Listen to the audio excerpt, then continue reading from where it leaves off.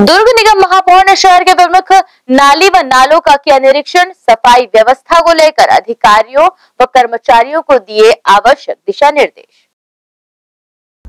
दुर्ग निगम महापौर धीरज बाकलीवाल ने शहर विधायक अरुण वोरा के निर्देश पर निगम के स्वास्थ्य अधिकारी गिरीश दीवान के साथ नाला सफ़ाई का निरीक्षण किया। निगम महापौर ने कसारीडी नाला, शंकर नाला, पोटिया नाला, केलाबाड़ी व शहर के अन्य नालों की सफ़ाई का जायजा लिया। जिसमें अधिकतर नालों की सफ़ाई अंतिम चरण में है, जिसमें चेन माउंटिंग और जेसीबी के माध्यम से सफ़ाई की जा रही है।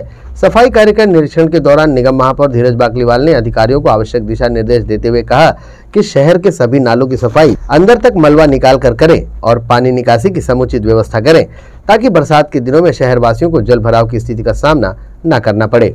ग्रैंड एशियन न्यूज़ के लिए दुर्ग से नसीम फारूकी की रिपोर्ट।